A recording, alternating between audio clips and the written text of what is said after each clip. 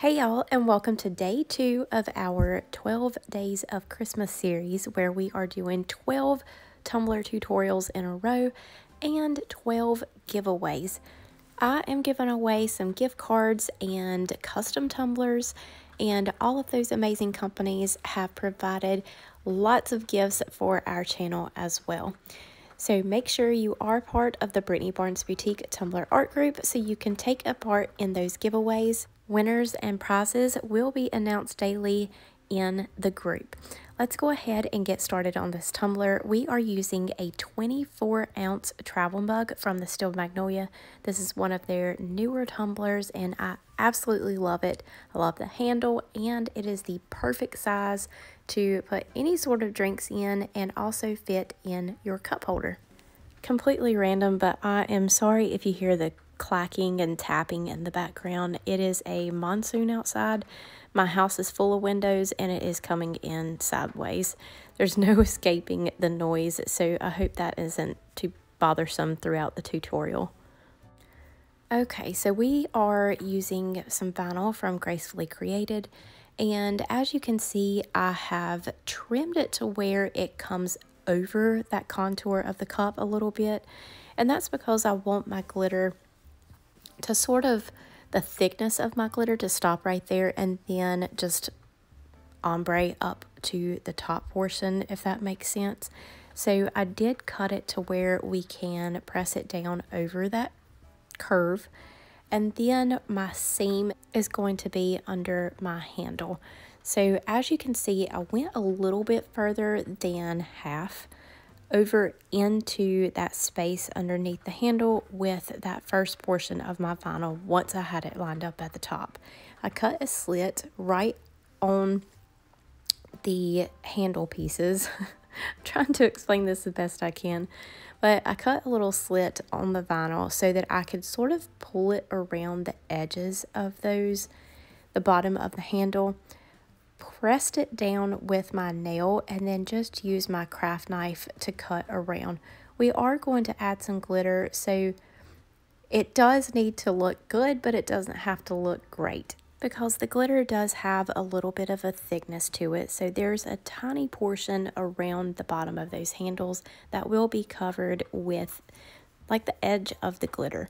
So once we get all the way around the tumbler, we are just going to repeat those same steps by pressing it down with my nail and then just working my way around with my craft blade to curve that vinyl or trim the curve around the handle.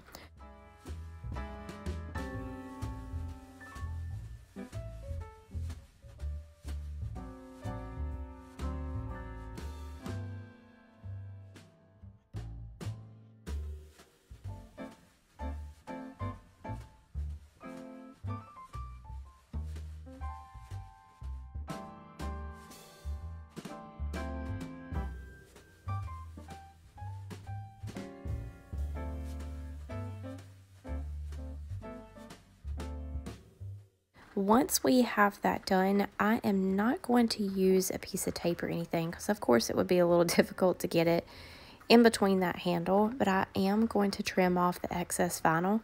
I used the handle as a guide for the top and the bottom and then went, of course, from the center of that top piece of the handle to the center of the bottom piece on the inside and then lifted the vinyl up to remove the excess vinyl on the top and underneath.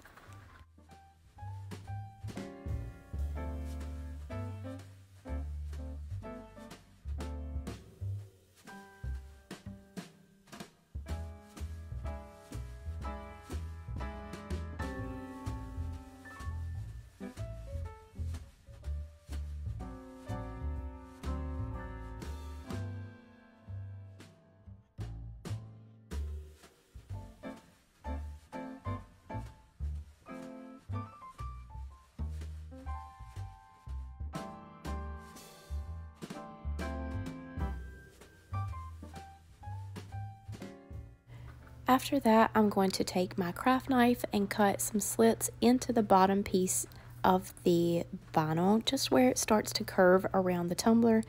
We're going to lift these pieces up and press them down to allow them to overlap a little bit so that it would be flat over this curve.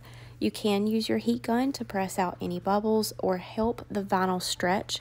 Just be cautious if you do use the heat gun not to stretch your vinyl too much because it can rip or tear it.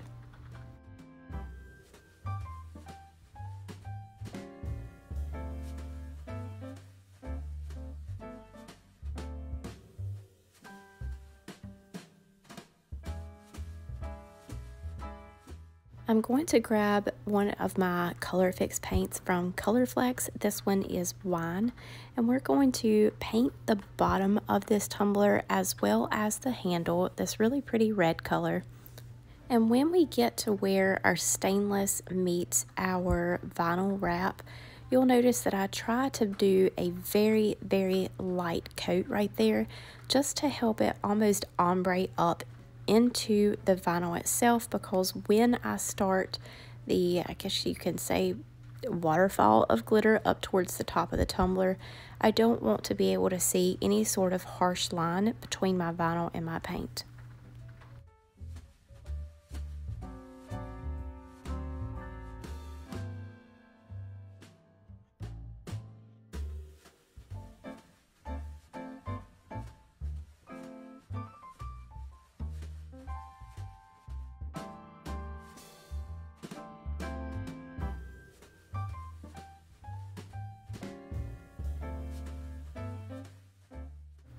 I did do two really thin coats of paint. This paint has excellent coverage, but I did do a very thin coat just so that we could build up that coverage around where I am ombreing my paint up into my vinyl. So when I went in with that second coat, I just repeated the same steps and dabbed my paintbrush or makeup brush is what I was using around where our stainless meets our vinyl just to blend that in a little bit better so our glitter will not have a harsh line underneath.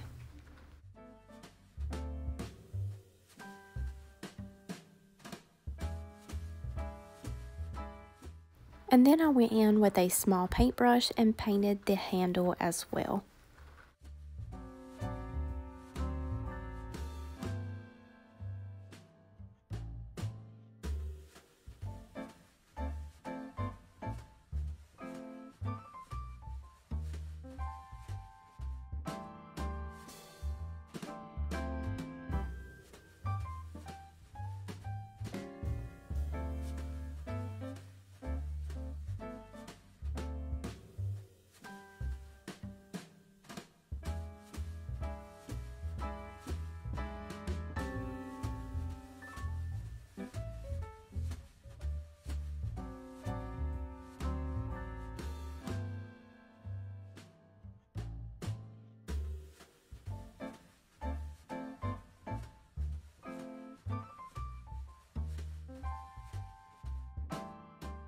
Once we have all of our paint complete, I'm going to go in with some painter's tape and tape around the bottom of those handles just so that I don't get my glitter or epoxy all over my vinyl.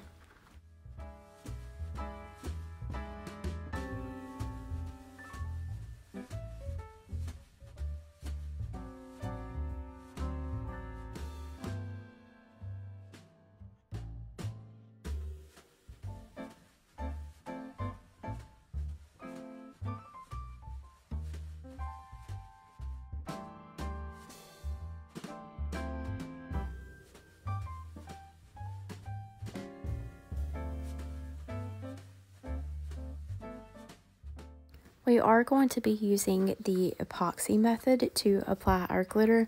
I want the glitter to really stay stuck around that handle whenever I do apply epoxy. It's an awkward curve. So where you can use glitter glue, since we are doing a chunkier glitter, epoxy is my preference. After I applied my epoxy, I realized that I didn't even know why I taped off the bottom portion of that handle because we are doing a glitter ombre. So, and we're using the same color glitter. So if you're using a different glitter for your handle, definitely tape off both of the top and bottom portions of the handle. But if you're using the same glitter as the bottom and you're doing the same design, you don't have to tape off the bottom of your handle because your glitter is going to ombre up underneath it. So it doesn't matter if your glitter gets there. Anyway, so after I took that tape off, I am completely out of frame, but I'm adding epoxy to the bottom portion of the tumbler. I'm not going all the way up, just slightly above the bottom part of the handle is where I am stopping my epoxy. We are using Santa Baby from PDB Creative Studio and we're first going to dump it on the handle, just making sure that we get it in all areas and cover it up really well. And then we're going to go heavy around the bottom portion of the tumbler then just hold our tumbler at an angle and sprinkle that glitter on lightly to allow it to fall up into our vinyl.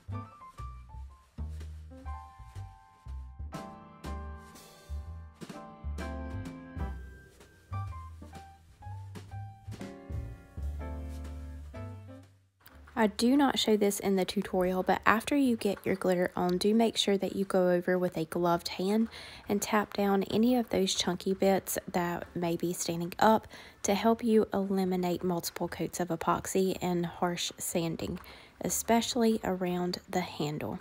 So we gave this two coats of epoxy after that glitter layer dried, and then we are going to add on our decal. I have a hot cocoa decal from Gracefully Created and I have already obviously put it on the tumbler and removed it because I didn't like how it looked just the decal itself. I offset everything and I felt like this also needed an offset. So I grabbed some of my white shimmer vinyl from TeckWrap Craft and since this is not an image I created myself, I can't go into my design space and create an offset for that. Well, actually, now that I think about it, you can. You could have, or I could have scanned the decal, imported it into Design Space, and just made it the exact same size as the sticker and created offsets, but Seems about the same amount of work either way, so we are going to just put the decal onto this white shimmer glitter, and I'm going to cut the offset myself, and then of course the white wasn't enough, so then we are going to add the red in the background as well.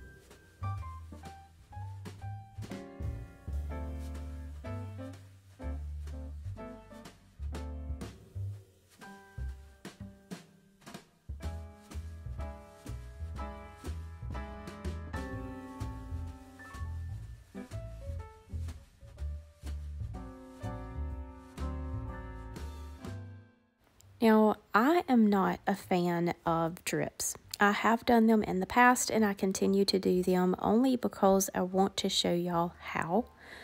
Um, and I think that it's good for me to step out of my comfort zone and show y'all how to do things so that you can really be inspired and to step out of your comfort zone and test your creative abilities as well.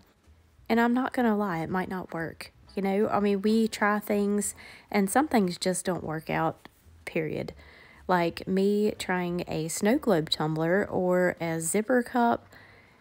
Gosh, I can think of so many different designs that I have saw other creators do and think, oh, that looks awesome. I'm going to try it too. And it is a mega fail, but I can take what I learned from attempting that design and use that on something else or use the elements from the design on something else to make it my own.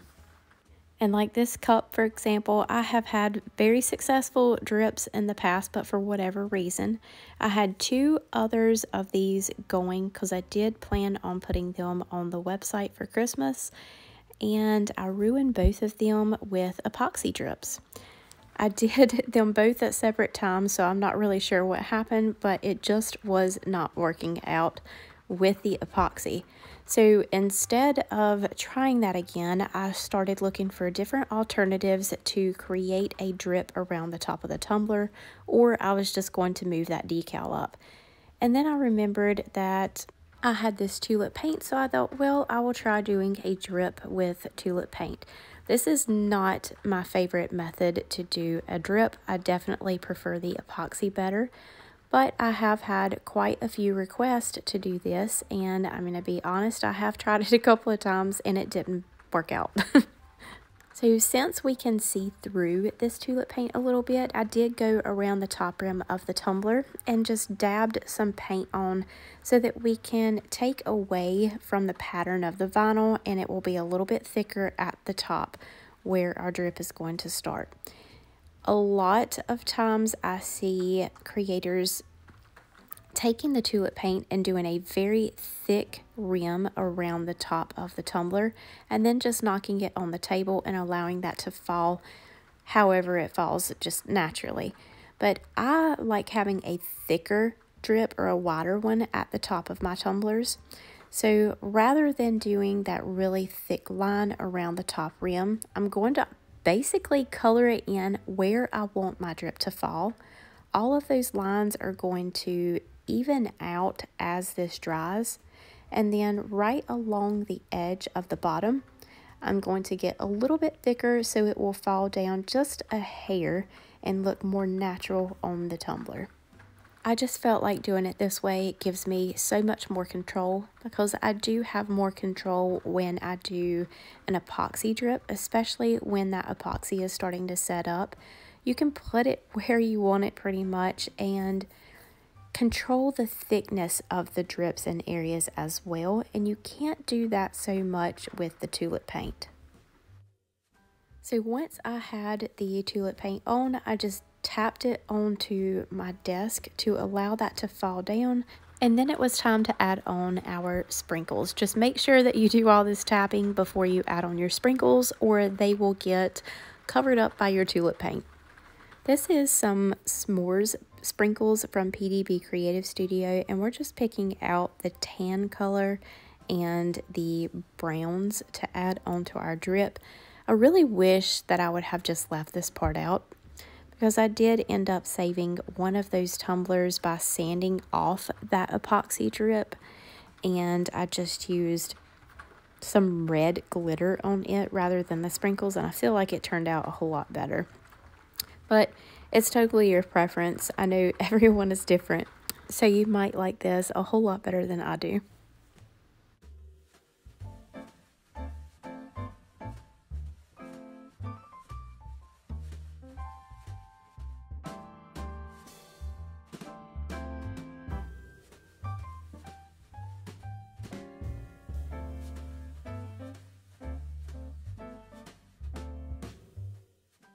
After I finished adding all of those sprinkles on, I grabbed Holly from Colorflex And I just pinched some of that glitter up and sprinkled it around on our drip.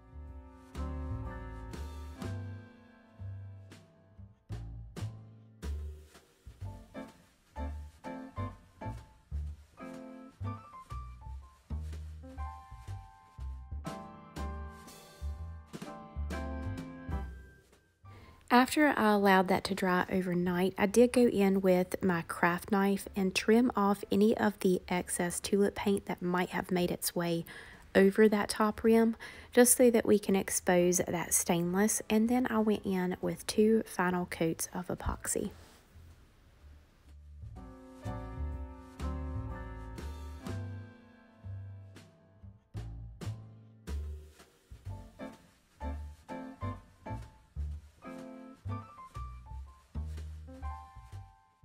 Now, although I am not a huge fan of the tulip paint drip, I do think that this turned out cute. It's really fun and festive, and it does all tie together really nicely. I hope that y'all have enjoyed this tutorial. Do not forget to join the Brittany Barnes Boutique Tumbler Art Group so that you can enter to win one or all of the 12 giveaways that we are having for our 12 days of Christmas. All materials that I have used will be listed down in the description below for you along with some discount codes. That is all for today. Thank you all so much and we will see you next time.